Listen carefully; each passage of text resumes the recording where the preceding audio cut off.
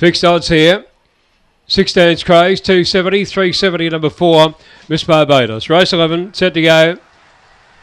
All in. Ready.